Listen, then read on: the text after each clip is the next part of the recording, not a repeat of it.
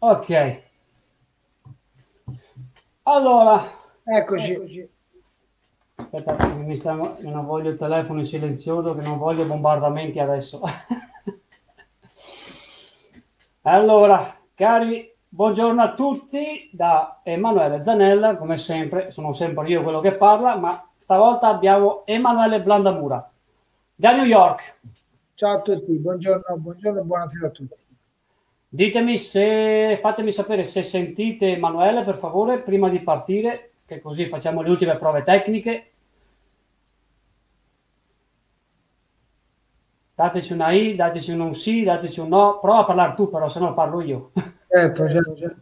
Luigi, mi senti? Se mi senti tu, mi sentono tutti. Sì, Stefano ha risposto. Grazie. Oh, perfetto. Niente, io non riesco a condividerlo nella mia pagina perché ho il computer che è rallentato e, e va a due. A due. Vediamo un po' se riesco a beccare il link da qua, facciamo l'ultima operazione, ma... E si sente bene, ha scritto Pierluigi. Ok, no, il gruppo non si vede, affanculo. Eh. Niente da fare, niente da fare. Niente, anch'io lo condivido, aspetta. È un disastro, eh, perché te l'avevo detto che rallentiamo tutto. Vabbè, dai, l'ultimo, l'ultimo colpo. Sai che è sempre l'ultimo colpo quello più difficile. E Vediamo un po'. Preparatevi con tutte le domande perché ovviamente non c'è nulla di preparato, ma andiamo via a bomba. Io non, tu non hai, non hai pre, eh, condiviso la, la, diretta, tu eh? hai, Adesso. Hai, hai, no, hai condiviso la pagina. Ah, cacchio, è vero. Sono proprio come poi ti dico come si va. Adesso provo io, vediamo un po' se riesco. Niente, non mi... Oh, è un disastro quando va apro... Mi serve un computer troppo potente. Vediamo un po', dai che parte... Vediamo se ce la facciamo.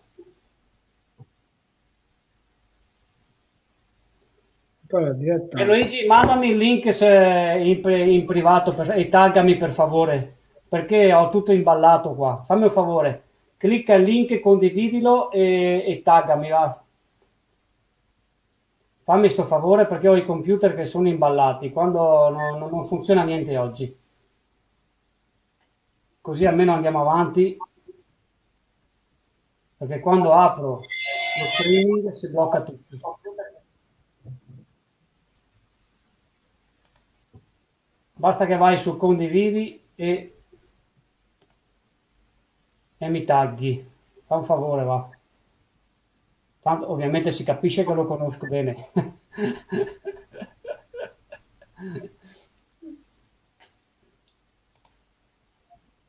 oh, eh, vediamo un po'.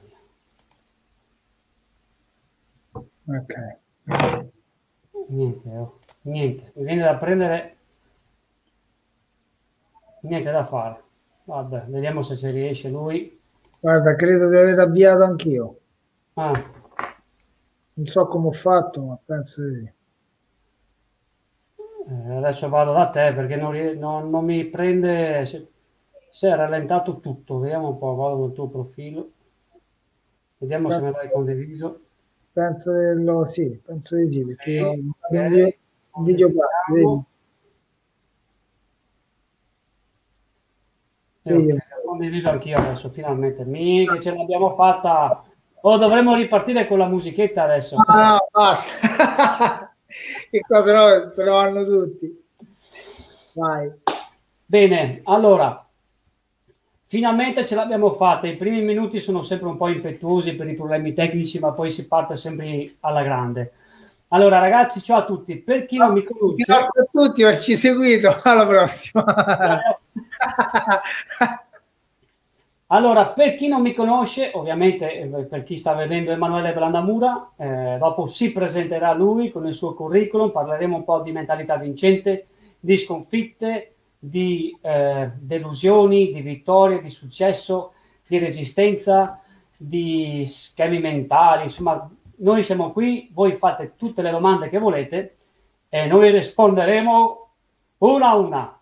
Vai. Per chi non mi conosce, comunque eh, sono Emanuele Zanella, che è la prima volta che mi vede, magari dico, ma chi è sto figaccione qua che parla? Penso di averlo mandato. Le... Ok, boh. Eh, ma adesso ho condiviso il suo, dai, ce l'ho fatta. Se magari state pensando chi è questo figone qua? È Franco Trentalance? No. Beh, sti cazzi.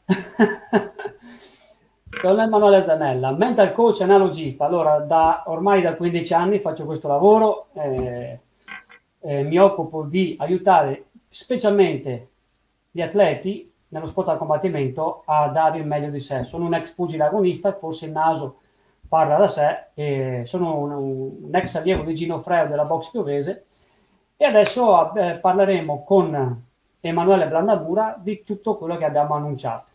Quindi, Emanuele, parliamo un attimo di ehm, questo periodo tosto, è duro per tutti e ci sta mettendo alla dura prova mentalmente, emotivamente, perché questo sta richiedendo in noi una elasticità mentale e un tradimento continuo, diciamo, è una delusione perché è come se la vita ci avesse tradito. E mi spiego anche meglio. Tanti pugili si, si stavano allenando per dei titoli, per qualcosa di importante, è andato tutto a quel paese. Domenico Valentino stava preparando per Brescia e è andato tutto in malora anche là. Eh, Davis Boschiero stava preparando per il mondiale con Patera, bloccato tutto e mi fermo solo a questi qui. Quindi, ehm, però, eh, dicendo anche questo, parliamo un attimo eh, non so perché, ma voglio parlare di sconfitta. Perché sconfitta? Perché adesso siamo tutti un po' sconfitti. Perché dobbiamo subire un po' una situazione anomala, difficile, che ci sta comunque ostacolando nei nostri progetti, nei nostri obiettivi, ci ha, ehm, ci ha obbligati a eh, intraprendere dei comportamenti per evitare di fare di eh, subire meno dolore possibile. È come se avessimo un avversario davanti molto forte e cerchi di difenderti. Quindi, ovviamente, per chi entra adesso non abbiamo nulla di preparato. Queste sono le domande che ci siamo preparati. Eccole qua. Ed è tutto a braccio. Quindi parliamo un attimo prima di sconfitte. Quindi parliamo, partiamo dall'inferno, dalla delusione e andiamo in scala verso andare su. Allora, posso, generali- posso generalizzare perché le delusioni poi sono molteplici.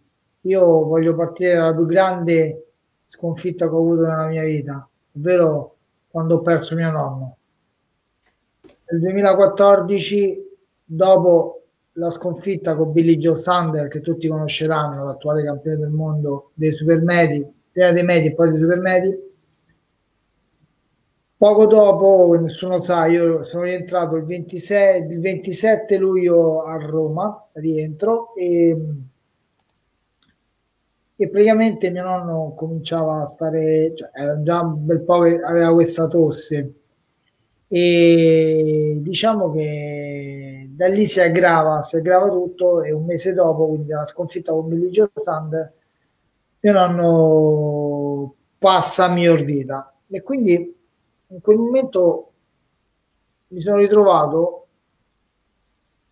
nella sconfitta nella sconfitta, ovvero perdo, perdo l'europeo, sono a terra, sono giù, ma non al, al, punto di dire a ah, cavolo, mollo tutto, no, sono giù perché ho perso, perché sono un atleta comunque, se mi conosco, sono un atleta evoluto. Ok, nella vita si perde e si vince, la mia prima sconfitta in carriera ci può stare, ho perso contro uno forte, il match era lì, vabbè, ok, la testa no, ti dà tutte le, le, le, diciamo, le risposte del caso. Dopodiché la mazzata finale è stata quando ho iniziato a camminare da solo, arriva la morte di mio nonno. E quindi sono caduto nuovamente nel panico. Sono, cioè, a quel punto mi sono detto, cavolo. Mio nonno ti sosteneva molto a livello pugilistico. Mio nonno, mio nonno mi sosteneva molto in tutto io quando ancora oggi, quando vengo chiamato per un grande impegno, diciamo che anche se non c'è più, ho quei, quei minuti di, di, riflessione, anche quei giorni, se vogliamo, in cui io sono tu per tu con mio nonno, in cui io amo, io non sono una, una persona molto, tra virgolette, socievole, ovvero ho molti amici, però non amo molto eh, il bordello, stare tutti accalcati, eh, parti, non, non, sono una persona, sono molto introspettivo, quindi mi piace più la calma, mi piace più la quiete, per poi essere, per poi essere un, un ciclone, un uragano sul ring, ecco. Quindi in realtà questa sconfitta mi ha, ovvero la perdita di mio nonno, mi ha veramente spezzato le gambe per un momento. E quindi penso che questa sia la, la sconfitta più grande che abbia mai subito nella mia carriera. Ok, però anche qui, eh, eh, visto che l'hai tirato fuori, ehm, in questo caso se dovessi lavorare con una persona, eh, durante una sessione di coaching io gli farei la, questa domanda, perché secondo te deve essere una sconfitta? Non, ci sono cose che vanno al di fuori della nostra portata, noi non abbiamo il controllo quindi a, a, livello emotivo tu hai fatto un collegamento tra il nonno e il pugilato. Esatto. Ed è forte, è forte questo legame perché io lo dico sempre, ehm, eh, dare quattro pugni o dieci pugni è la parte più facile. È tutto quello che c'è dietro che è quello che è molto più complesso è come il compito di fare il maestro, dire tira uno, due, tira il gancio, è la parte più semplice. No. È, è, cioè, non è che un mio maestro, un Gino Freo, dice tira uno, due e magari tu adesso magari con i tuoi ragazzi mi dici tira 5 8. Se è 1 2 è 1 2, solo che la capacità del maestro è entrare nella testa dell'atleta e riuscire a portarlo su e sostenerlo su, sia emotivamente che tecnicamente, perché quando eh, il combattimento, lo sai meglio di me, è una guerra psicologica. Certo. Quindi eh, parliamo più che altro della sconfitta, no? Eh, un po' quello che ci sentiamo adesso che eh, ci dicono una cosa e poi boom, andiamo giù.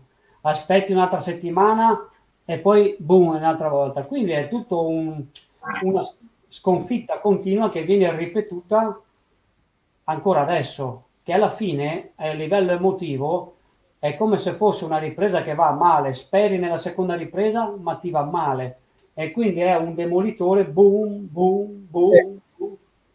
Ok, in questo caso tu come paragoneresti il fatto di ormai con la tua esperienza in quella sconfitta che dopo quando la elabori riesci a elaborarla in modo differente? Certo come potresti paragonare per dare qualche consiglio alle persone adesso che ascoltano con la sconfitta che hai avuto? Che ovviamente stiamo parlando dopo una serie di vittorie. Certo. Adesso che stiamo comunque in una fase di, tra virgolette, sconfitta anche noi. Allora, possiamo... La domanda che mi è venuta a braccio così, eh, quindi lo... Allora, la sconfitta comunque, facciamo un passo indietro e parliamo, se vogliamo entrare, no? nell'ambito ancora più, un po' più dettagliato, diciamo che la sconfitta è soggettiva. Ok? Quindi ognuno di noi ha il suo modo di sentire la propria sconfitta. In questo momento in cui siamo tutti in casa, in questo momento in cui tutti noi sentiamo una sconfitta data da, da, da un evento che è più grande di noi, no? che non possiamo controllare, ok? C'è la voglia di, sostanzialmente c'è stata un, una parte iniziale di oh, ma che sarà, vabbè, stiamo a casa, vabbè, dai, tanto mo, dai, sì, vabbè, ho capito. Poi alla fine, quando la cosa si è prolungata, ovvero fino a, fino a quest'oggi, c'è una sorta di ma che davvero? Cioè, ma adesso prima era masticavoli andiamo, adesso è aspetta, ci penso due volte prima di uscire. Poi c'è, magari c'è il temerario tra virgolette, lo chiamo temerario, stupido, ignorante, che non capisce un cazzo e dice no, va bene, una barzelletta, sono giovane e via. Però avendo anche avuto amici personali che hanno, avuto, hanno contratto il coronavirus, sono stati a casa e in ospedale, in terapia intensiva, beh, io comincio a riflettere e dico no, aspetta un attimo, forse si rischia qualcosa. Partendo da questo concetto base, quindi per, per capire una sconfitta e per immagazzinarla è innanzitutto fare un rewind no? di come è avvenuta, quindi che cosa è successo, ok? Per quanto concerne le nostre potenzialità, quindi bisogna avere un grande senso di di comprensione che non è facile perché noi siamo noi stessi, quindi il nostro pensiero è legato al nostro modo di essere. Mentre, faccio un esempio, avendoci un Emanuele Zanella dall'altra parte, ok? C'è questo confronto in cui può uscire fuori un qualcosa di differente, magari dalla sconfitta, in cui io posso uscire fuori dalla mia veduta e avvicinarmi alla tua, che magari è una veduta differente. Ovvero quando uno dice il bicchiere mezzo vuoto o mezzo pieno, dipende da come lo si guarda, no? È una sorta di questo. Quindi valutare la sconfitta da più aspetti non è una cosa semplice, ok? Però se si è onesti con se stessi si può anche arrivare a essere mental coaching di noi stessi. Ma è molto difficile, è molto difficile e specialmente per un professionista ad alto livello come lo sono io, come, come lo è Davis Boschiero, come lo è Domenico Valentino, insomma eh, comunque ci vuole una, una squadra, no? Una squadra. Quando segui atleti di quel calibro, credimi, eh, eh, non, è, non, è, semplice, non sai dove mettere le mani. Quando lavori con una 500, eh. puoi anche, ma quando lavori con le Ferrari, eh, la, la, la, il margine di errore è zero.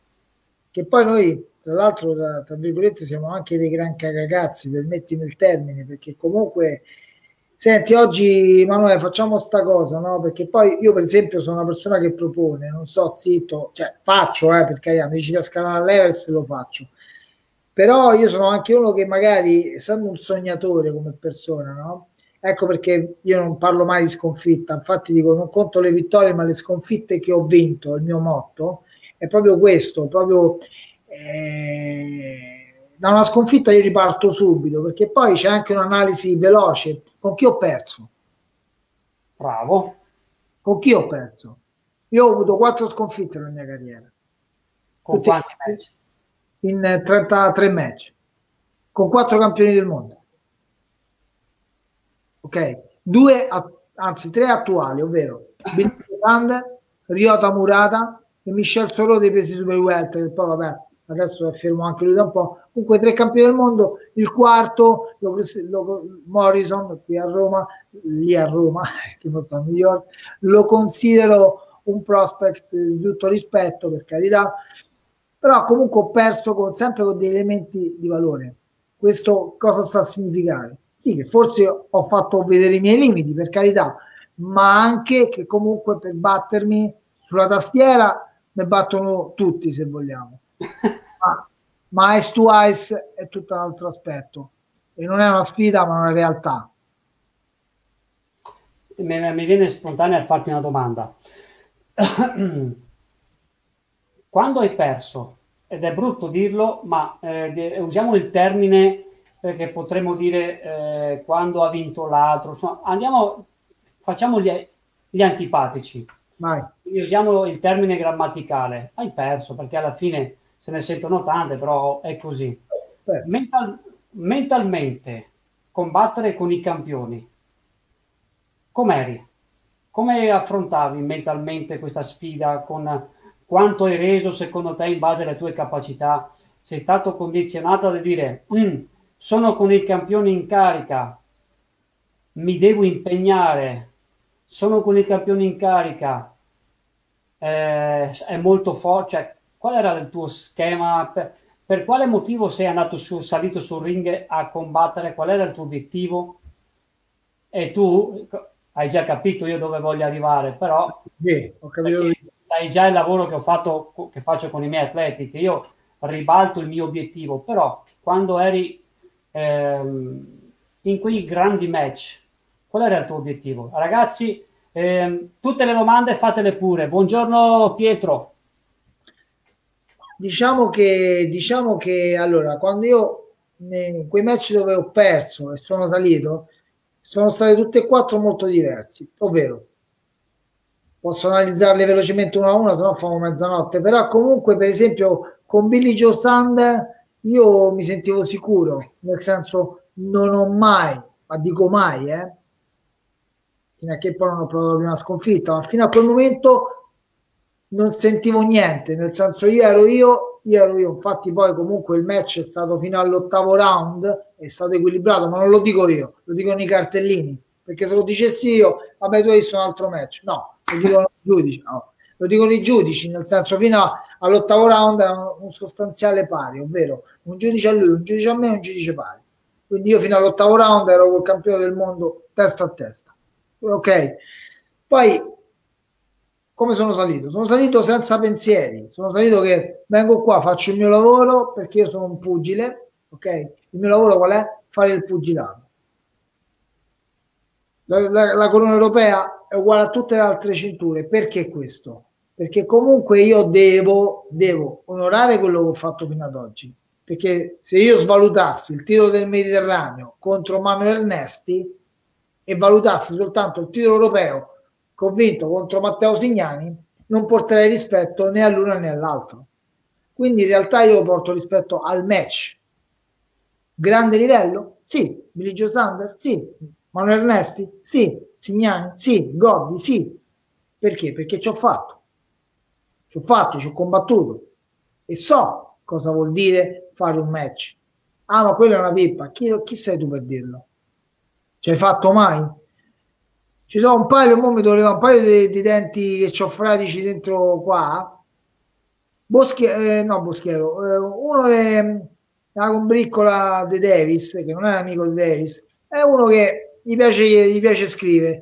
Sopra il dita delle mani, eh, sopra, non mi ricordo come si chiama, mannaggia la miseria. Mi stanno antipatici quelle persone che devono parlare a sproposito di tutti Oh, io combatto, tu stai sulla tastiera, ma che cazzo ne sai?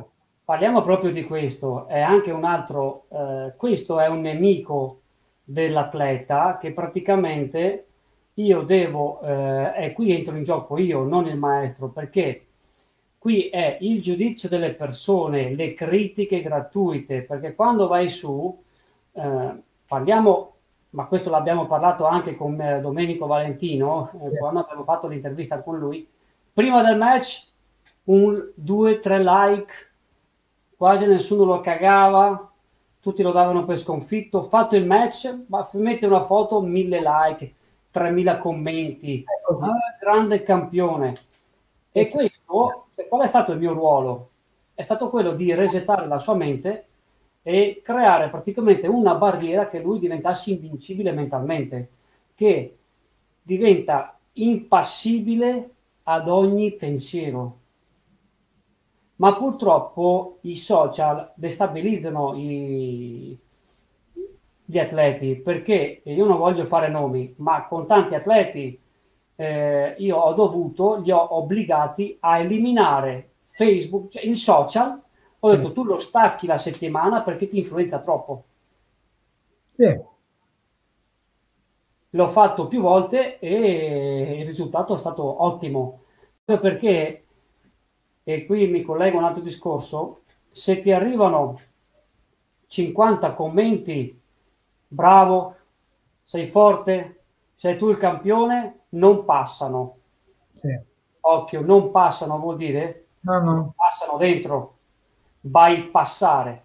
Certo. Se uno ti dice, mm, secondo me ti fa un culo, tac, quello passa. Perché il complimento, sei forte, la, mente, la, la nostra mente, noi per natura ci agganciamo principalmente alle cose negative. Se dici, fai 10 ehm, complimenti a una persona, cioè nemmeno si ricorda. Se certo. dici, oh, che match del merda che hai fatto. Eh. Come ti permetti? Bravo.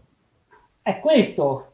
Sì, ma Manuè, permettimi, la cosa che a me mi fa incazzare, ok? Non che mi fa arrabbiare, che mi fa incazzare. Sai qual è? Che magari no, la gente ti scambia perché comunque io appaio in un modo, no? ovvero educato, rispettoso, perché lo sono tra l'altro però questo lo scambia perché per essere tra virgolette uno scemo forse non ci siamo capiti. Tu devi portare rispetto a prescindere da chi hai davanti. Poi se te meno è un altro paio di maniche perché te meno, perché non è come vediamo, no, io ho quello della tastiera, te meno, punto. Poi dopo parliamo, però comunque io voglio dire, non per essere maleducato, però voglio dire, bisogna avere rispetto per tutti. Solo che in Italia, Manu, e io questo lo provo, allora ti giuro, qui in America, oh, sono a New York, no? Sono sceso l'altro giorno a fare la spesa, l'ho postato qualche giorno fa, cioè scendo, c'era, c'era la fila no, per entrare, insomma io, io mi fermo alla linea e l'uomo mi fa sorry, eh, io faccio, rimango così, ho detto che cazzo ho fatto, no? No. E lui mi fa, c'ho pure una mascherina, mi fa, you are Blandamora? E faccio, sì, ho detto pure sì, no, manco yes, faccio sì, no, wonderful, fantastico, boh, ha fatto la foto, cioè per dirti, qua in America addirittura mi riconoscono. In mm. Italia, in Italia, ti ripeto, stavo a 5 km di distanza da dove abito io, mi hanno invitato per un qualcosa, ok? Da campione d'Europa, per una, per una purtroppo per una decorrenza di una persona che era morta e mi hanno invitato, mi hanno voluto e mi hanno invitato. Io sono andato con tutto il rispetto per questa famiglia, ho portato anche un pensiero. Beh, ti dico, la maggior parte delle persone che erano all'interno della struttura erano tutte persone che io conoscevo, tutte. Ci fosse stato l'applauso, vabbè, era normale, no? Grazie Emanuele, l'applauso. Come sono sceso, mi sono seduto sul tavolo, ci fosse stato un cane che fosse venuto lì al tavolo per dirmi ciao Manuel. I complimenti non li voglio, ma ciao Manuel. Quello che fotte sto paese, purtroppo, cioè l'Italia, è la, purtroppo l'invidia. C'è un'invidia sacrosanta che fa schifo. Ma io potrei dirti nome e cognome di tante persone che, che, che, hanno questo dentro. Non lo faccio, lo tengo per me perché sono rispettoso nei confronti di queste persone, no? Però chiaramente dentro una persona come me che è emotiva, ok? Una persona che è emotiva. Ma si vede eh, già il fatto che se tu, per chi lo vede, ciao Antonio, eh, ma tu stai esprimendo molta passione, molto pathos in quello che stai comunicando e si vede comunque perché quando uno ci mette passione sulle cose, le vive, le vive con il cuore. No. Le vive con il cuore. Purtroppo il fattore eh, mentale in questo periodo è soggiogato dai commenti dei social. Perché se tu fai un match e fai una cagata, vieni da tanti, vieni bombardato. Eh che eh, io, io seguo tantissimi atleti, ho perso il numero da quanti, ho perso il numero di quante cinture di campioni italiani, europei o mondiali che sono state, mh, che ho accompagnato tantissimi atleti tra K1, Muay Thai, kickboxing, eh, pugilato. Ma il pugilato campioni del mondo è un po' più difficile, eh? non è che lo fai. Hai, fatto, hai fatto, seguito Valentino con Patera, insomma, c'ero. Sì, sì, ma eh, porco, aspetta che... Però il fattore social, se non hai una struttura mentale forte, ti massacra. Ti massacra. E io ho visto atleti che mi, ho dovuto confrontarmi con i maestri e magari per chi non mi conosce voglio precisare che io non faccio il tecnico, non faccio il maestro. Io collaboro con i team, è come che il nutrizionista si occupa della nutrizione, io mi occupo della, dell'assetto mentale, della comunicazione, delle emozioni e della respirazione. Stop! Però io quando vedo che un atleta non ascolta più e comincia a scannarsi un po' col maestro, perché la preparazione lo sai, cominci la dieta, cominciano le rotture marroni, comincia lo stress e comincia a diventare sustoso. Certo più avanti che si va è un attimo che si, fa, che si litiga col maestro. Eh. Il maestro nervoso, l'atleta nervoso, e si, e si, si E quindi mi chiamano a volte i maestri che sono disperati mi dicono o, oh, l'ammazzo o, o, mi aiuti. Poi mi chiama, mi chiama eh, eh, perché lavoro con il team, mi chiama l'atleta o, o l'ammazzo o mi aiuti. Quindi si crea una tensione che alla fine il mio compito è quello di smorzarla e, e creare la, la sinergia tra, tra il team. Quindi io dico, guarda, a lui trattalo così, vedi che è nervoso, devi carburarlo, devi, oppure, insomma, gli do il giusto assetto per metterlo in equilibrio, in equilibrio tra maestro e atleta. Guarda, qui abbiamo Mario Zanotti. Ciao Mario, un grande maestro di K1 e Muay Thai. Oh. Abbiamo collaborato tantissimo e con lui eh, uno dei, dei, suoi atleti l'ho trattato peggio de, di un vagabondo yeah. eh, nel peggiore dei modi con tutti i schemi adesso con, gli puoi andare addosso col carro armato no no niente bestemmie Antonio niente bestemmie ed è proprio questo il social i commenti i pensieri destabilizzano l'atleta Certo. Un atleta deve dimenticarsi perché, come ti ho detto, può bastare, un... Mario, me lo puoi confermare che può bastare una sola parola per distruggere un atleta? Ma anche a voi, eh, eh, a voi che mi state ascoltando, vi è mai successo di ricevere un commento, o meglio, dieci commenti belli, bravo, bravo, bravo, e uno, mm, ma non so, potevi far di meglio, che questo è ancora peggio, sai perché? perché ti crea un dubbio. Ah, certo. Il dubbio è ipnotico, quindi crea nella mia mente un vulcano di pensieri che voleva dire, che avrebbe e che pensava e quindi io mi scollego da me stesso e mi aggancio a quella persona. Voglio sapere cosa pensava e quindi faccio un match eh, da schifo proprio perché può bastare un solo messaggio per destabilizzare un atleta. Ma allora, sostanzialmente, sostanzialmente eh, comunque Manu, io sono una persona che, cioè, essendo, allora, partiamo un attimo, facciamo un passo indietro. Quando ho iniziato a fare il pugilato, ovvero a 18 anni, diciamo che io mi sono, mi sono innamorato della box grazie a, lo dico, a Rocky, a Sugar, eh, il cartone animato, a Rocky Joe. Perché questo? essendo stato sempre un sognatore, ok? Sempre una persona uno step sopra le nuvole, ok? Stavo sempre sulle nuvole, io, sempre un ragazzo così con la, con la capoccia in mezzo alle nuvole, pensavo sempre in grande se vogliamo, ma sempre differente, ecco, sempre differente, più che in grande sempre differente. Pensavo sempre che io potessi fare tutto, perché non avendo avuto comunque eh, vicino a me i genitori che tutte le volte ma che cazzo dici, mettiti a studiare o che ne so io, No, avendo avuto dei nonni fantastici, perché io la cosa più bella che ho avuto sono stati i miei nonni e mia zia.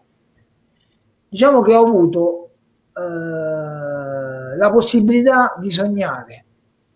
Non che gli altri non lo facciano, perché io non lo metto in discussione, però io mi, mi sento, mi reputo di aver avuto la possibilità di sognare, ok? Anche sbagliando, per carità.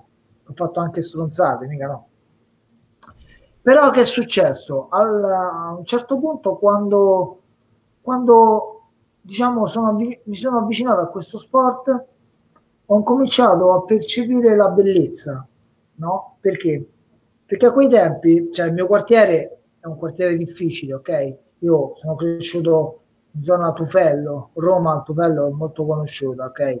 Come zonaccia, vecchio stampo come zonaccia, piena di non piena di delinquenti, però insomma dove, dove è facile che, eh, che, per reagire ad un qualsiasi situazione devi reagire con la forza. Ok? Bene, io non sono stato immune a questo, quindi sono passato per le borgate, sono passato per il tufello, sono passato in mezzo alle scorribande a crescere così. Però dentro di me sentivo che non ero adatto, perché? Perché quando io facevo a cazzotti, certo, picchiavo la gente, certo, no? facevo questo tipo di, di, di, di tra virgolette, eh, passatempo, no? Poi quando tornavo a casa però con niente ero andato e con niente ero tornato, quindi eh, le mie tasche erano sempre vuote, ma vuote non di soldi, vuote proprio di, di qualcosa di costruttivo. A quel punto un bel giorno mi, mi appassiono al Rocky, no? vedevo questo ragazzo che sì, era uno rozzo, no? se vogliamo, era uno che non gli devi rompere le scatole, era uno che eh, così e colà, ma allo stesso tempo è uno che poi ha trovato la strada, si è innamorato di uno sport e col, tramite la forza fisica l'ha fatta diventare poi il suo cavallo di battaglia diventando Rocky, no? diventando il campione. Io dentro di me mi sono immaginato la stessa cosa, non so dove potevo arrivare, però ho detto perché non fare la stessa cosa, ovvero voglio dare adito a quello che ho dentro, alla mia rabbia, voglio uscire fuori, ok, lo facciamo con delle regole, perché questo è ciò che aspetta la mia nobiltà. Io mi sentivo comunque una persona degna di rispetto, no? Mi sentivo di essere cosciente, mi sentivo di essere una persona che non era oh, come posso dire, un bullo di periferia, ma forse potevo fare qualcosa in più della mia vita. Ed ecco lì che c'è stato questo connubio tra me e il pugilato, ma talmente forte che dal primo, sin dal primo giorno il pugilato ha cominciato a insegnarmi le, la più bella l'etica, l'etica, ovvero il mio primo maestro si chiama Guido Fiermonte, all'epoca aveva 83 anni, la palestra si chiamava la Nuova Villata, davanti appunto Villata che è un grande parco di Roma. E io vado lì con affare bullo, come ricordo, con la sigaretta, perché alla Rocky, no? Con la sigaretta, io sono bullo, io meno, devo dare questa impressione, no? Il maestro, 83 anni, mi ricordo, mi apre, era uno scantinato la palestra, mi apre e mi dice, mi dica, mi, mi, mi dice di lei. Io dico, che è qua la palestra di pugilato? No, perché voglio far pugilato, mentre fumavo fuori, perché voglio far pugilato io. Allora, ti premetto che avevo i calzini di spugna sulla tuta, il pacchetto di sigaretta arrotolato dentro la manica e il cappelletto all'indietro l'orecchino e fumavo il maestro mi guarda dalla testa ai piedi con gli occhiali, un po', un po' gobbito, con gli occhiali, e mi fa: Le iscrizioni sono chiuse, torni a settembre. Boh, mi chiude la porta davanti. Faccio, rimango così interdetto e dico: Cazzo, stiamo a aprile a settembre, manca avevo capito il tutto. Ho detto: Cazzo, stiamo a aprile. Quella è la prima lezione che ho imparato del pugilato, ovvero torno a casa, parlo, mi confido con un amico di famiglia che era, che era grande, ovvero Giovanni Capranica, il, il, padre del figlio Capranica, direttore d'orchestra di Sanremo. Eravamo molto amici noi. E lui mi dice, 70, aveva 70 anni, io 18 anni fa. No, no, gli racconto l'accaduto e lui mi fa, ma scusa, ma tu ti sei presentato così? Perché era pomeriggio, l'ho incontrato con gli faccio sì, Lino, e sto vecchietto del cavolo così, no? Mi ha risposto male a me. E lui mi fa, a parte che Fermonte è un nome d'arte, che comunque Enzo Fermonte è stato campione, eh, Fulvia Franco, insomma, tante storie.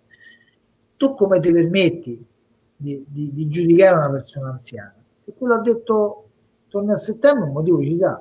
E io te lo dico qual è il motivo. Il motivo è che nobile arte, tu non c'è niente di nobile. Insomma, ci sono ritornato una settimana dopo dopo aver fatto un bel lavaggio di coscienza. No? Sono tornato vestito normale, senza orecchini, senza cappelletto e senza sigaretta e soprattutto senza calzini sopra, sopra, sopra la tuta. Busto, il maestro, il faccio maestro con questo affare sono andato, cioè questo affare. Maestro, io veramente vorrei fare il pugilo da lei, la prego. Adesso le iscrizioni sono aperte. Adesso le iscrizioni sono aperte. Fantastico. Quindi, questa stata la mia prima lezione assoluta di box. Ecco che cos'è il pugilato. No, devi damenare, devi ucciderlo, devi staccare giù la, la gioculare. Anche perché io, persone, allenatori del genere, comunque il proprio atleta come ha perso. Però ah, ognuno, quindi ognuno motiva poi l'atleta come meglio crede. Comunque io credo in questo. Nino Benvenuti è il nostro portabandiera di eleganza e di nobiltà. Non ho mai sentito, tra virgolette, uno che uccide le persone perché io non ho mai sentito. Quindi Pugiate no, stacca testa. Eh, Anche perché se noi valutiamo bene questa cosa, eh, se uno va su per distruggere l'avversario, ha già perso, perché combatti con la rabbia, non sei lucido, non sei determinato. C'è una grande differenza tra rabbia, o meglio, ci sono, le, sono chiamate le tre energie archetipiche, no? La calma, la giocosità e la ferocia, solo che ogni energia ha un lato scuro e un lato buono. Il lato scuro, se io prendo la ferocia, il lato scuro è la rabbia. Oh, te spacco! Cioè, eh, certo. invece uno determinato è pum, tu, questo è determinato. Nel momento che perdi la brocca, io mi ricordo del campionato, ho preso l'avversario, ha crollato le, ha piegato le ginocchia, vado all'angolo, so, insomma stavo facendo un grande match, ho detto adesso lo butto giù, partivo praticamente dall'angolo, ho perso la testa. Perché non, ho perso la brocca e lì ho fatto un casino. L'ho vinto, ma ho fatto un casino. Se invece rimanevo lucido, pom pom, avrei vinto. Ed è proprio questo. Ho riscontrato molto il fattore rabbia, no? Oh, dai, te spezzo, te spacco, ma non è così. Come dici tu, ci sono delle regole, ma bisogna determinazione, determinazione e freddezza. È lì che si vede il vero pugile. Quando uno non vuole, non combatte con ferocia, ma combatte con determinazione. Benissimo. Dopo mi viene in mente Tyson. Tyson era un animale, ma lui secondo me ma aveva un maestro che era che conosceva molto bene la mente umana. Infatti io ho, ho studiato un po' cioè in base a quello che diceva Tyson, no? E ho fatto un articolo su questo perché aveva, eh, lui si regolava molto bene, anzi sicuramente aveva studiato l'ipnosi perché sapeva molto bene come, come stipulare la parte emotiva in modo calibrato per portare la tensione verso di lui, come faccio io con i miei atleti, no? Io cosa faccio? Li, prendo l'emozione, la creo e la porto verso di me. Alcuni mi dicono, cazzo ti verrei là, ti spaccherei la testa. Però cosa fanno? Si dimenticano dell'avversario. E quindi quando vanno su non hanno rabbia, ma sono determinati Vai, parlo io che vedo che sei, stai parlando. No, no, no, no, vai, vai, vai, dimmi, dimmi. No, dimmi la tua a riguardo. No, no, sono, sono d'accordo con te, sono d'accordo con te, è vero, verissimo. Ho anche letto il libro di Tyson in cui c'è questa, questa parte in cui era legata all'ipnosi, in cui spiegava di Cas D'Amato che in certe circostanze veramente usava questa, appunto l'ipnosi, no? Su di lui, cioè, ipnosi, poi viene considerato tale, però comunque eh, c'era questo aspetto che condividevo con te. Ecco. Infatti lui era un chirurgo della mente perché lo sapeva, sapeva calibrare la mente tutto in modo eccellente. Alla Freud. Eh, e, e, e, in America com'è? Mh, come hai visto il fattore mentale comunque? Perché qui quando io mi sono esposto ho preso de, di tutto. Non ti dico cosa si è mosso. No, Ora siamo, siamo, siamo reali, no? Cioè, nel senso, chi parla, ok, chi parla sono i fatti, nel senso. Allora io sposo, mio maestro si chiama Eugenio Agnozzi, maestro benemerito, ok? E lui è un è un maestro che non va tanto per la quale, cioè, lui per me l'allenamento è questo punto e basta. Però è una persona dalla mentalità aperta, ok? Nel senso, ciò che a me fa star bene, se lui lo, in un certo range lo reputa che si può fare, al di là da come la pensa, perfetto, si può, può accettare, ok? Il lavoro magari di, di, di team, no? Che lo accetta 100%, però comunque alcune varianti all'interno, vede il mental coach, eh, il preparatore atletico, il fisioterapista, cioè, sono vari aspetti che poi un atleta no, deve avere nel team. E io col maestro spesso facciamo questo, cioè lui mi ha fatto questo esempio, mi ricordo, del calcio, no? Ma secondo te mi ha fatto vedere, no? Eh, la scuola di calcio di Orbi, quella lì che erano tutti potenziali lavoratori che hanno fatto la partecipazione ai mondiali, che poi sono usciti subito, però comunque erano chi lavorava in banca, chi nell'edilizia, hanno fatto sta squadra e sono arrivati a fare eh, la fase iniziale dei campionati del mondo, no? Sono usciti subito comunque, perché comunque il loro lavoro non è, sostanzialmente non è giocare a pallone.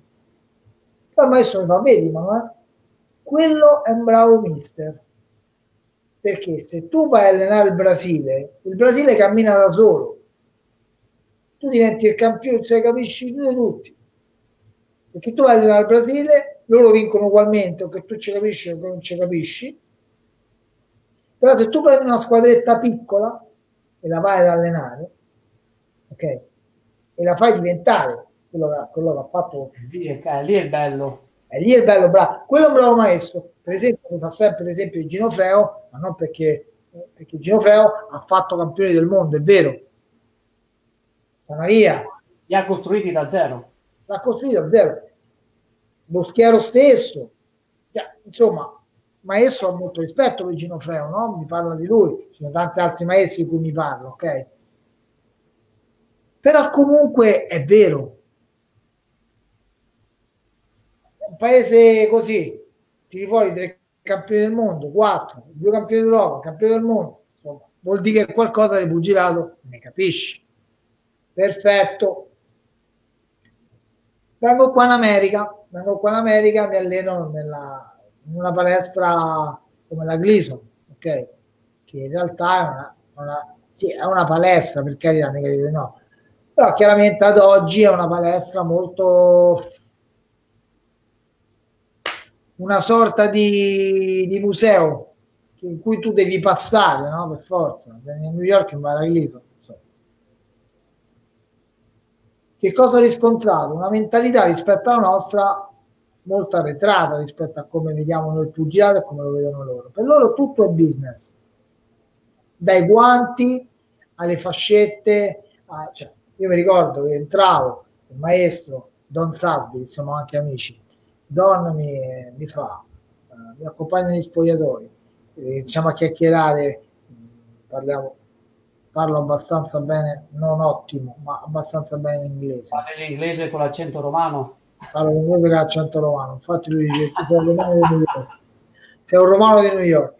E quindi chiacchieriamo del più e del meno, quello e quell'altro, a un certo punto dice vabbè dai, prendi le fascette, mi fa le mani, me le fa lui, scarico due di fai due di vuoto, due di corda, anzi due di corda, due di vuoto e poi ti chiamo su ring e lavoriamo. Insomma, riscaldamento che non va a curare no? quello che è il warm up iniziale dalla fase iniziale oppure lenta, progressiva per poi passare all'attivazione del core, muscoli stabilizzatori, alla mobilità articolare. No, questo, questo concetto no? scientifico dell'allenamento non ce l'hanno, almeno qui. Poi magari vai ad allenare Mayweather, eccetera, eccetera. Non dico di no perché non mi sono andato con loro, ma dico anche di sì, ok? Dico che questo aspetto c'è perché ognuno può fare il suo. Ma all'interno della stessa palestra questo concetto non c'è. Però il maestro, il maestro che dice, Manuele come ci è arrivato a 40 anni a fare lo sport? Struttura fisica no. È una serie di, di aggiustamenti che ho portato in tutte le preparazioni, ovvero ho introdotto la mobilità, ho introdotto la posturale, ho introdotto lo yoga, ho introdotto vari aspetti no? che non consideravo. Io ho sempre avuto lo psicologo, ok? sempre avuto il motivatore, o quantomeno una persona che mi supportasse emotivamente e psicologicamente, lo psicologo, che non mi ha mai detto, dai, ce la farai, ha sempre detto, ma ha sempre lasciato a me in mano le scelte, facendomi vedere un ampio raggio, una, un'ampia gamma di, di, scelte che potevo avere, ok? Però comunque lui mi ha sempre detto, se tu lo devi scegliere, non io. Questo non è il mio, non è il mio compito. Infatti anche su questo, ehm, quando facevo, ho fatto diversi corsi con gli istruttori, quando facevo il mental training, quindi prendevo atleti e maestri di per quanto si guarda, eh, riguarda la motivazione, uno degli errori è eh, dai che puoi farcela, non è così. Eh, ne parlavo anche con Damiani, no? Che dicevo, se l'atleta che gli dici dai che ce la puoi fare, lo butti giù. lo butti giù. Io non voglio fare nomi, ma eh, sono tutti gente conosciuta.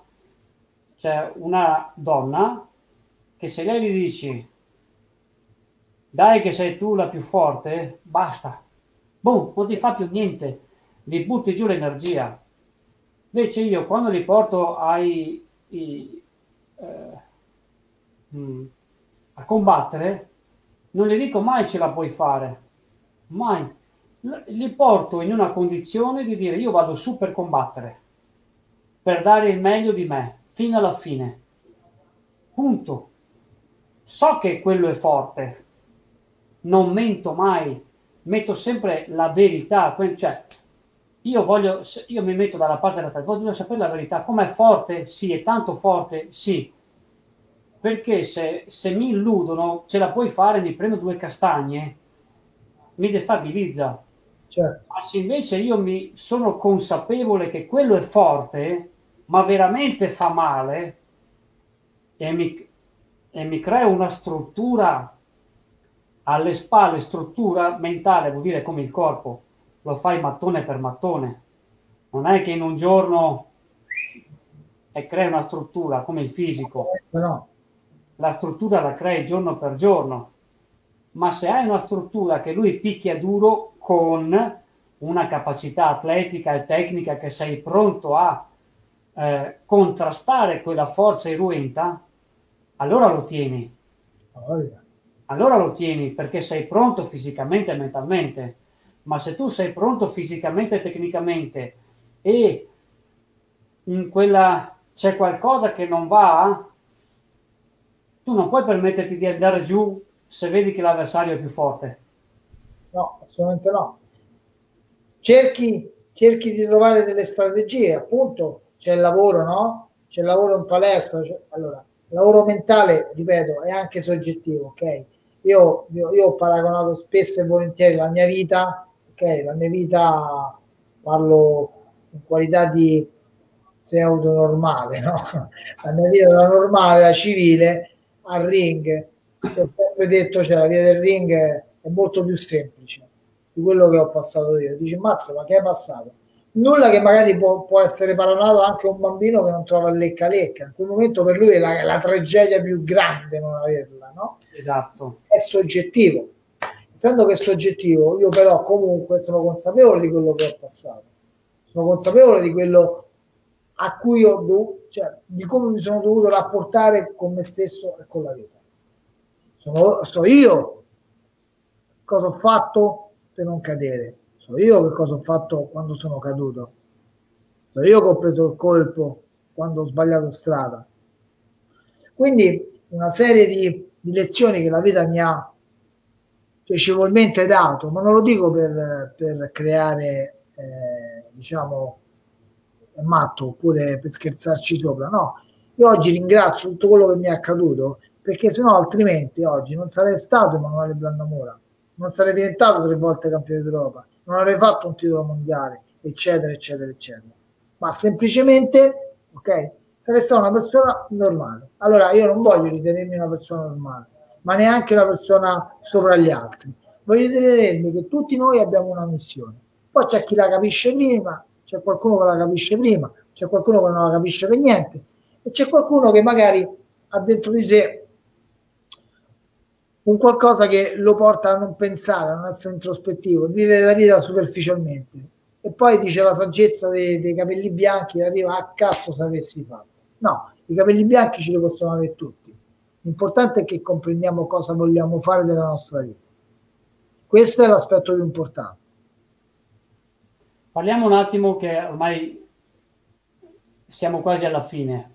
Parliamo eh. un po' della salita, abbiamo parlato un po' delle sconfitte e delle difficoltà, parliamo un po' del successo. Vai. Eh, per voi fate pure tutte le domande che volete a Emanuele Blandamura. Allora, partiamo dei successi. Qua il successo ti porta su, eh? sì. Parliamo dei successi, dai. Di... Allora, allora, parliamo, allora, parliamo delle vittorie, partiamo dall'aspetto sportivo, parliamo delle vittorie. Il successo più bello è stato ricordo uno dei, dei miei primi titoli, ovvero a, contro Manuel Ernesti de Diamond, che io ero la vittima sacrificale, ok? Quindi comunque considerato da tutti, anche dal, dal manager avversario, ovvero Davide Buccioni per l'epoca, no? Io avrei dovuto perdere, anzi, dovuto Davide perché siamo amici, lo dico con, con amicizia. Per tutti avrei perso quel match, ma in realtà non è andata così.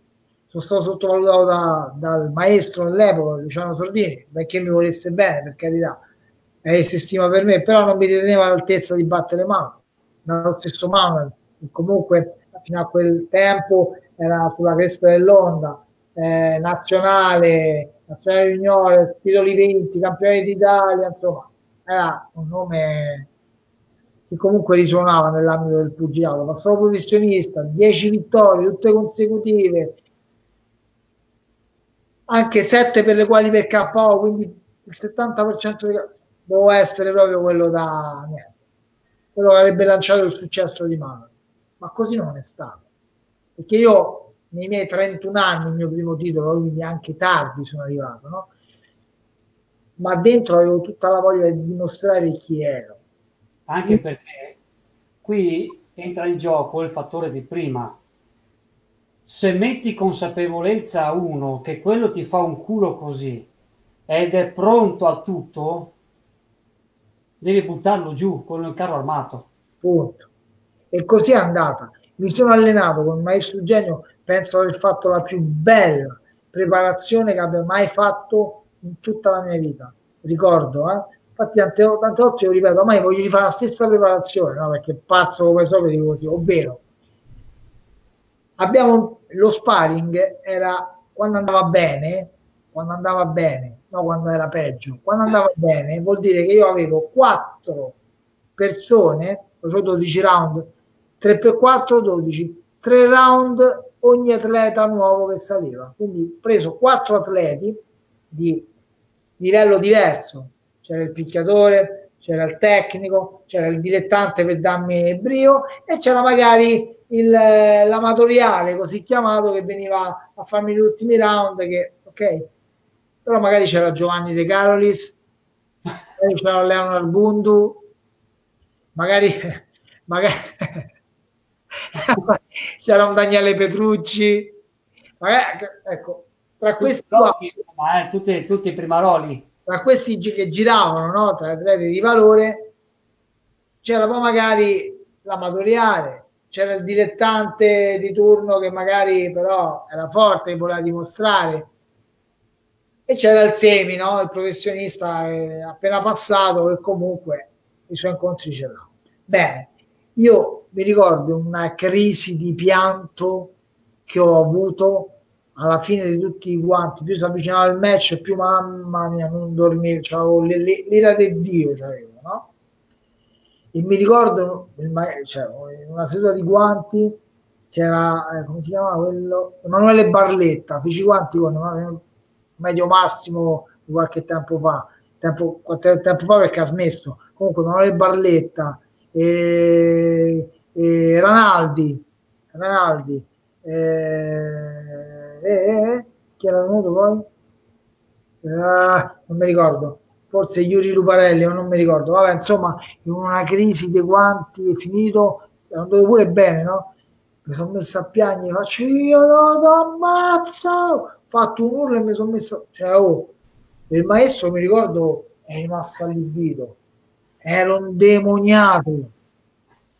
Tutti quanti che ho fatto, lo, non è per rispetto di tutti, eh, ma una furia, non ce l'avevo per nessuno, non ce l'avevo per nessuno, per nessuno. Hai fatto lo switch? Madonna, lo switch, un pazzo. Un, un metrato, io fa, il maestro mi fa, ma devi staccarlo però, eh. se no te caccio via. E mi ricordo una serie di quanti, insomma, mostruosa avevo fatto per carità, rispetto di tutti gli atleti.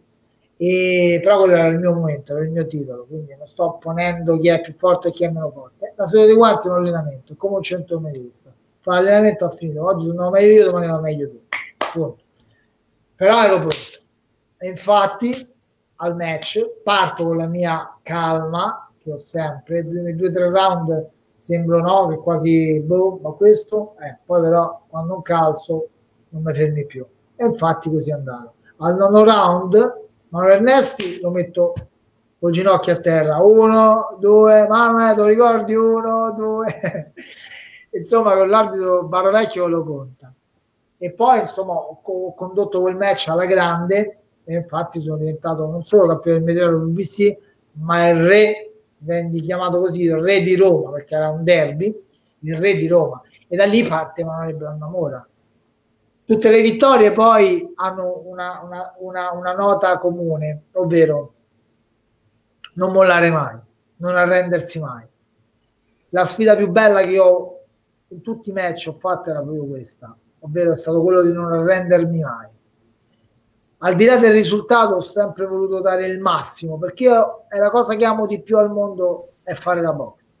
Quindi volevo dare sempre il mio massimo. Non considero il mio avversario destro, sinistro, infatti se tu vedi il mio curriculum, no? Sì, ci sono i match, no? Quelli là di transizione, quelli transitori, chiamiamoli così, no? Tanto chi è esperto capisce quello che dico.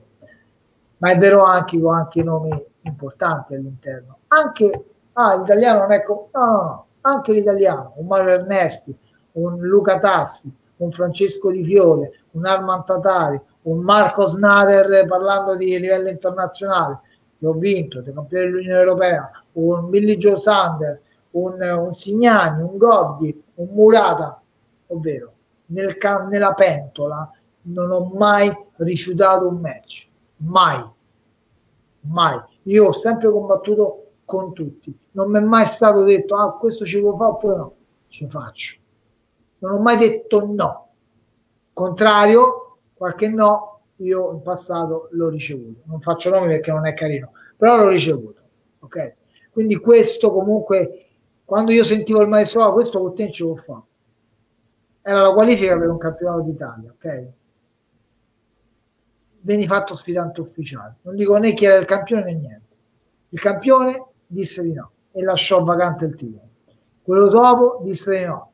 E non, no. Insomma, tre atleti dissero di no. Io lasciai vacante la qualifica di sfidante e nominarono altri due co-sfidanti. Ok?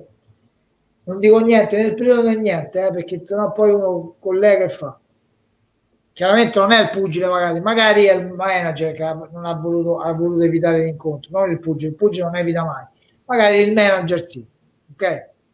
Comunque, sappiamo la, la carriera di un pugile va costruita. Esatto, comunque così è andata, così è andata, io questa cosa però a me mi diede la forza di dire cacchio a me stesso, da solo, senza dirlo all'altro, cazzo qualcosa vale. E questa cosa nessuno più me l'ha più toccata Infatti oggi io dico sempre, le chiacchiere se le porta via il vento, sono i fatti che rimangono. E chi ha da parlare, dico, ma io sui libri di storia ci sto. Hai visto slash, command, option, sopra c'è option, c'è punto. Ecco, punto.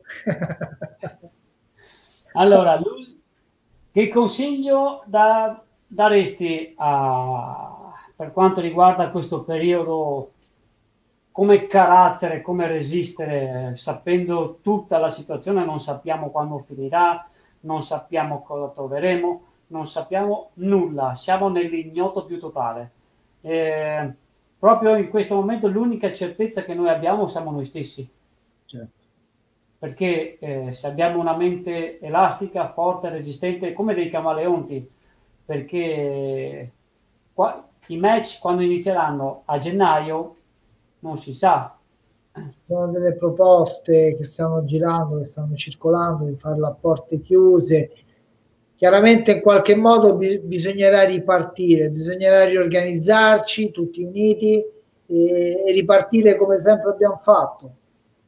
Il mondo oggi è fermo, non un paese, il mondo. Il mondo oggi è fermo. Lì in oggi America com'è lì in America? Tutto... Ma chiaramente qua è sempre stata fondamentalmente una fase 2. Una fase 2 e quindi... A parte che dall'uno non, non, non sai che qui non abbiamo capito la differenza tra la fase 1 e fase 2, tanto... Però non voglio entrare nella no, neanche io, neanche io perché non eh, credo che poi ci si perda nella, nella burocrazia. Appunto.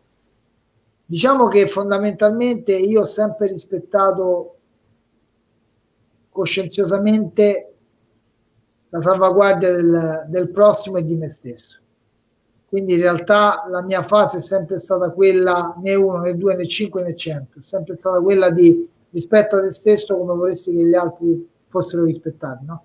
Quindi io ho rispettato la distanza di sicurezza, ho rispettato eh, quello che può essere il protocollo di stare alla distanza giusta e andare magari a fare la spesa. È vero anche che mi sono fatto la corsetta perché qui era permessa farla, no? E quindi ho rispettato anche quello che poteva essere fatto e sono andato a correre. Però chiaramente il mondo è cambiato, il mondo è cambiato, ah, penso che i più, anche chi ha meno coscienza, ha imparato ad usarla e ad usarne molta.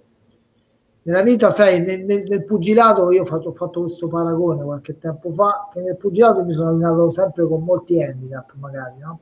Ovvero che magari potrebbe essere, cazzo mi sono fatto male alla caviglia, mi sono staccato una settimana, che faccio? Seduto sulla sedia mi allenavo, oppure stavo sotto la corda. Insomma, mi inventavo gli esercizi per cui potessi non stare fermo. L'ultima volta che magari uno pensa di dire ah cavolo sono scoraggiato oh, cavolo. No abbiamo sempre la possibilità di organizzarci di riorganizzarci e di fare la cosa migliore possibile che possiamo. Chiaramente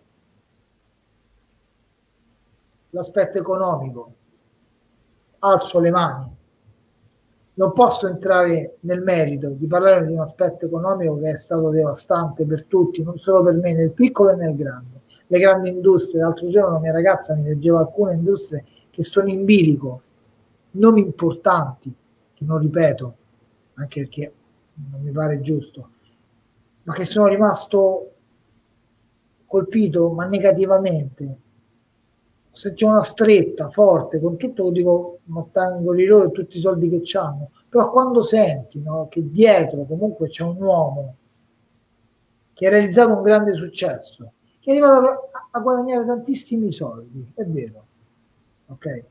Io non posso augurargli il male perché io mi, io mi metto nei panni di quella persona dalla gloria alle stalle no? in cui tu sei onnipotente e poi cadi giù non può essere soltanto che chi ha i soldi, tra virgolette, stronzo. No, chi c'è soldi ha una, ha una storia sua. Sono solo convinzioni errate. Eh. Esatto. Chi sono solo convinzioni. Se uno ha soldi vuol dire che, che anche può, può aversi... Meritati? Se l'hai meritati? Perfetto. Appunto. Diciamo che se l'hai meritati. Quindi ho sentito quella stretta nello stomaco di dire, cazzo, pensa come sta questa persona. Ma non solo economicamente pensa che ha 1000, 2000, 10.000 dipendenti, 10.000 famiglie, 10.000 moltiplicato per altrettante persone. Allora, oggi l'aspetto no, economico-sociale è stato devastante. Di conseguenza porto subito, porto subito, la mia testa fa subito un esempio della guerra, no? di mio nonno quando mi raccontava della guerra. Ok, in vari aspetti ci sono sempre state queste cose, no? si sono sempre riprodotte, si sono sempre riproposte nel tempo. Allora io oggi mi trovo in un momento difficile come è stato cento anni fa, mille anni fa, eccetera. Ok, quello che posso fare è dare il mio supporto. Il mio supporto come? Per esempio io collaboro, ok? Io lavoro per, eh, come personal trainer e lavoro in un gruppo Big Fit, si chiama Tilland Big Fit. Abbiamo, siamo stati uno dei primi nei social a lanciare l'allenamento online in casa, ok?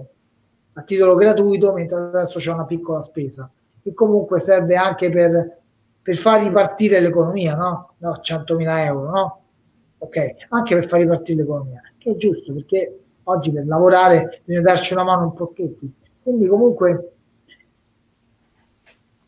ognuno di noi deve essere artefice della propria vita, ognuno di noi deve dare il proprio massimo, ognuno di noi deve capire qual è la propria missione, ok? E deve dare il proprio meglio. Piangersi addosso serve a poco. No, adesso no. È giusto? Adesso serve una forte consapevolezza, una forte eh, presa di posizione e di coscienza. Questo non, non, non vuol dire arroganza. Adesso abbiamo, abbiamo giocato, no? L'arroganza nel modo giusto, l'arroganza come l'umiltà vanno messi insieme nella pietanza, perché se sei tutto umido, eh, ci vuole la giusta umiltà, ma anche la giusta arroganza.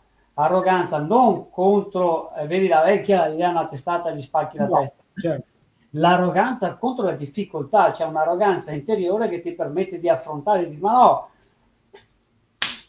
adesso ci sono, è quell'arroganza di quando sali sul ring combatti contro il tuo avversario. Adesso chi è il nostro avversario? Esatto. È una situazione, è un nemico che non si conosce, quindi ci vuole l'umiltà, sì, oh no, questo, però ci, ci vuole l'arroganza giusta per combattere, perché sennò ci soccombe. Esatto, infatti questo è, è chiudendo, chiudendo questo aspetto, è proprio questo quello che intendevo dire, ovvero eh, adesso è il momento, visto che siamo tutti no, sul punto di partenza, tutti insieme, siamo tutti là, chi più e chi meno, appunto dalle grandi aziende al piccolo lavoratore a chi non fa niente. Adesso è il momento di ripartire, di tirar fuori idee, di tirar fuori possibilità per tutti, no? Per noi tutti, di essere più uniti anche se, anche se siamo socialmente distanziati, ok? Però più uniti a livello di testa, ovvero diversi corpo, stessa mente, no? Quindi trovare quel, quell'appiglio, quella forza giusta per poter ripartire tutti insieme. E si può fare umilmente, facendo un passo indietro, nell'umiltà, considerando la vita non come un potere economico, ma considerando la vita per quello che è realmente. E che cos'è realmente? La vita è un prodotto, è un mezzo per cui tu puoi fare il più bel viaggio che possa essere mai stato inventato in vita nostra, più della scienza e più di qualsiasi altra cosa. Quindi adesso ognuno può veramente sperimentare il senso profondo e reale della vita, che ognuno di noi è soggettivo, deve trovare per forza. Esatto, adesso o lo trovi o, o lo trovi. Ci sono alternative. Giusto, eh, siamo arrivati alla fine. Quindi io ringrazio veramente Emanuele Brandamura di questa bella chiacchierata tra di noi, che avuto questa bella ha condiviso delle sue emozioni, della sua storia, dei suoi successi. Se avete qualche piccola domanda fatela pure e se no chiudiamo questa breve diretta. Quando vedrete questo, canale, questo video da YouTube iscrivetevi al mio, al mio canale per essere aggiornati e come vedete nel link c'è, c'è una frasetta, cliccate lì che un, c'è una sorpresa molto interessante per chi ha voglia di imparare le regole della mentalità vincente. Bene, io direi siamo arrivati alla fine, non ti metto la canzone finale perché sennò ma te l'ho già mandata la canzone. Oggi sono andato a correre, me la sono sparata. No, no, con Shazam, nel telefono della mia ragazza, l'ho shazamata e me la sono presa. Lo sappia, la, la, musica è considerata come un doping e quindi puoi ben capire quanto è importante sono le frequenze. Bene signori, ciao a tutti da Emanuele Zanella, grazie a Emanuele Brandamura. Poi. E niente, e buona continuazione a tutti. Ciao Manu. Ciao ciao ciao. Ciao grande, ciao a tutti, ciao.